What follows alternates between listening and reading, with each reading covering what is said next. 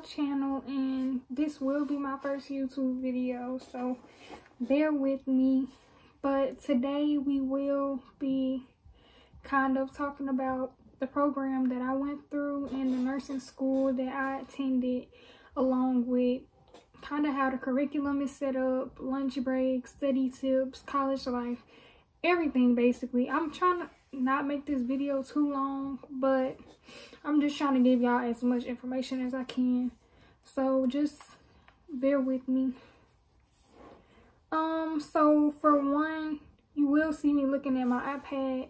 It has kind of like the questions and the layout of how I'm going to do the video. And yeah, we're just gonna go ahead and get right into it. So I did the associate's degree in nursing program through Alcorn State University. Also, people may not know what the ASN degree is in the first place because they're only used to hearing about the LPN and the BSN program and everything above.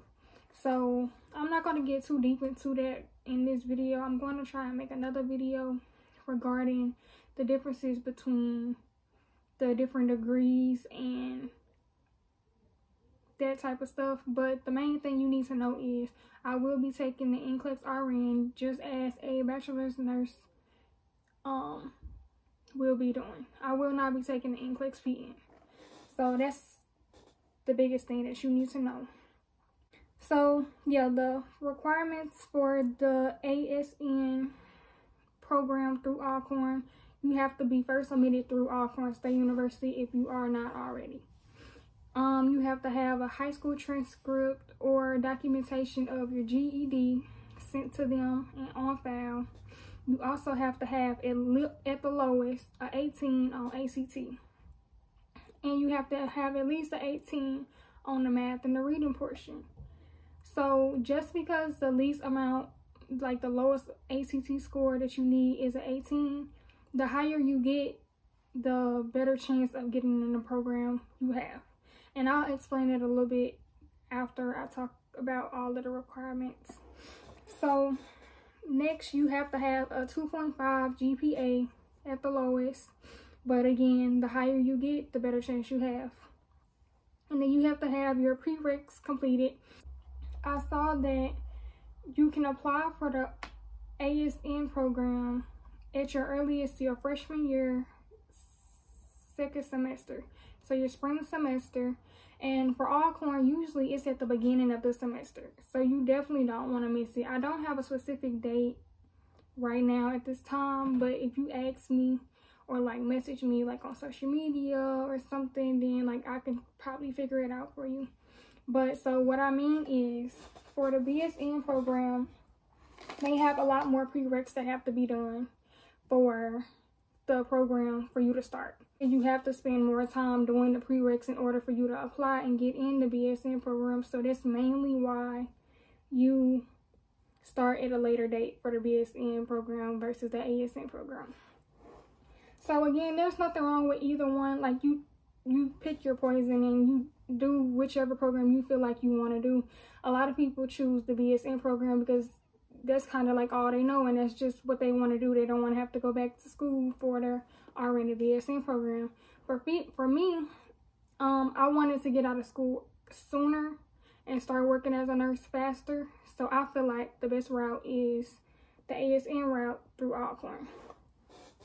Depending on, now I will say that it depends on when you decide to apply to the program.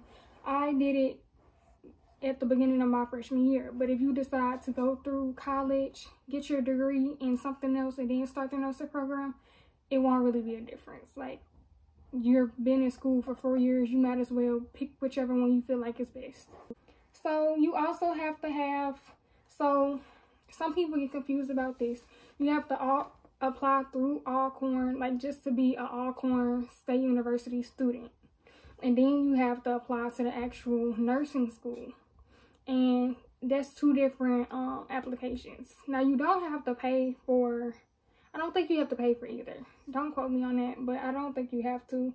But um, you will have to send in multiple documents. So just because you sent in, um, excuse me, your high school transcript and your ACT score and stuff to them, that does not mean that it's just going to transfer over to them. You have to also send it to the nursing school. So don't be confused when you send in your application and you think that, oh, okay, I don't need to send in my ACT score, my high school transcript, all of that, whatever they ask you for, because you sent it to main campus. They literally are two different schools. Like, yes, they're a part of the same branch or whatnot, but just because they're a part of the same main university does not mean their paperwork for each school basically goes back and forth. So I applied my freshman year, so 2017 um, spring semester which was the second semester. Okay, so for one, each nursing class in the ASN program for each semester is one nursing class, but it's eight credits. So that's different than the BSN program because they may have five classes and each of them are three credits. Kind of like a regular main campus class, but for ASN, it's eight credits for one class. And I believe that's because that one nursing class is half clinicals and half lecture.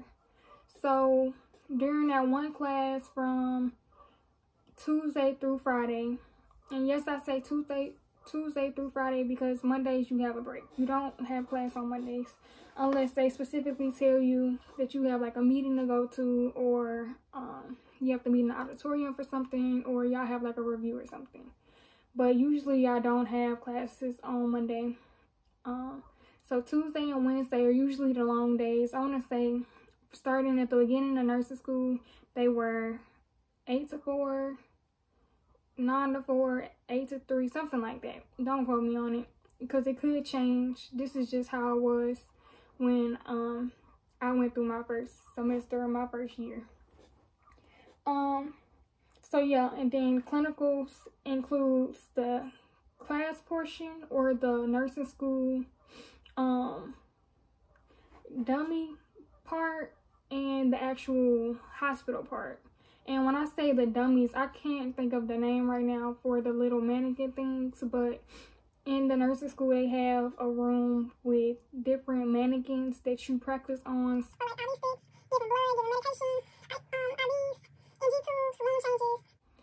Basically everything that you learn in nursing school, you can do on the dummies.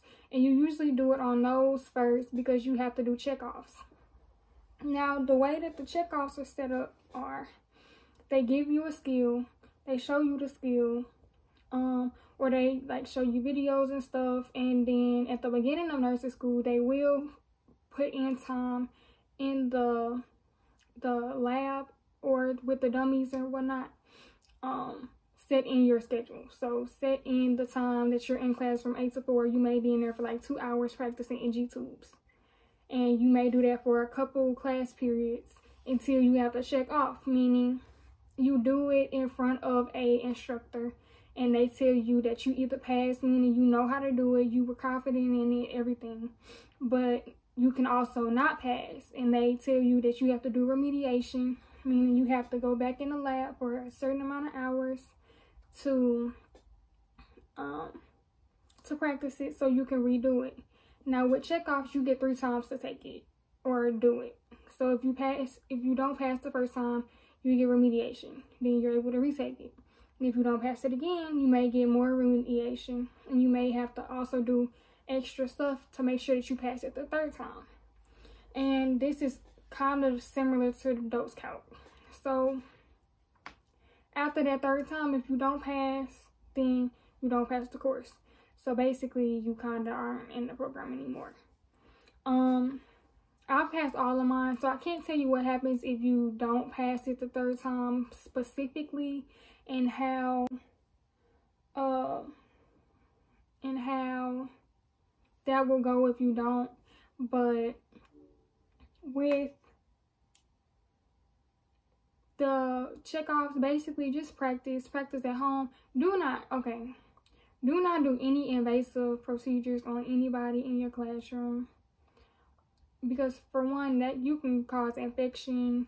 You don't really know what you're doing. You can mess up something and then you call in the nursing instructor saying um dr b um, me and so-and-so was doing IVs and her arm looks weird. What should I do? And she really can't do nothing because yes, you get the little kits or whatnot with the supplies and whatnot, but you don't know if they're sterile. You don't really know if um they're safe for you to use on actual people because they're practice kits. So you don't really know what them um kits and stuff been through. So I would not suggest that you do it on different people. So um yes again you'll have class Tuesday, Wednesday, Thursday, Friday. Tuesday and Wednesday is the 8 to 4 or however many hours close around those hours. And then Thursday and Friday is usually 9 to 11 or if they move it back 10 to 12 but it's usually only two hours and then monday you could do whatever you want to do if you want to spend that day for studying all right if you want to spend that day to go to main campus go home whatever all right um so i talked about clinical days.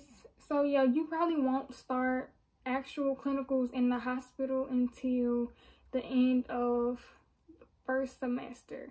And it may not be that many days but the second semester is when you'll actually start getting into the hospital more but you'll still have checkoffs. Before you can start hospital clinicals you will have to take a dose calculation test. And it's basically math knowing how to convert um, decimals or use decimals convert conversion so like mils to liters or kilograms to grams. And as you go through the program you'll have to know different more ways about dose calc. We did get have to buy a dose calc book. We didn't really use it that much. We did use it at the beginning but um you will need it because you have to use it in class but if some people it don't probably it really don't help some people so if that's not what helps you then try to find something on youtube or online that can help you because you have to pass it. You get three times also to take that. And each time you will get remediation. So you'll get a lot of practice problems if you don't pass. And then you'll retake it. And if you don't pass again, you'll get remediation. You have to take it. If you don't pass, then you pass. You don't pass the course. So you're not in the program anymore. So with that, um, you have to have everything right. So if you put if the answer is 0.2 milliliters, and that's what the teacher has on her scoring guide for the question, and you just put 0.2 or you put 0.2 milligrams instead of milliliters, that question is wrong, and now you got to retake the test because you have to get 100% for the hospital that we go to. Some programs allow you to only get 90% or 98% or something like that, but our program, you have to get all the questions right or you're wrong. Um, I feel like that's a good thing and a bad thing, but I mean, you do have to be safe and know what you're doing before you go in the hospital. So just practice. It's really not that hard. Um, and if you don't get it, just ask. Like you have to learn how to ask questions in nursing school and find other things to help you because they may not always be able to help you the way that you need it. So if they don't help you in the beginning, find something else.